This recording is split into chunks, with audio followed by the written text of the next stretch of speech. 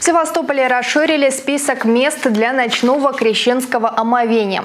Кроме акватории в районе причала номер 286 в бухте Казачьей в обновленный перечень вошли пляж мыса Хрустальный и набережная гарнизонного пляжа поселка Кача. Там сотрудники экстренных ведомств и служб будут дежурить с 18 часов 18 января до вечера 19 января. Об этом сообщили в местном главном управлении МЧС России. В других специализированных местах на пляже пляже Омега, городском в Балаклаве, у побережья микрорайона Радиогорка и в акватории бухты Карантинной в Херсонесе верующие смогут принять участие в обряде утром 19 января после божественной литургии и крестного хода.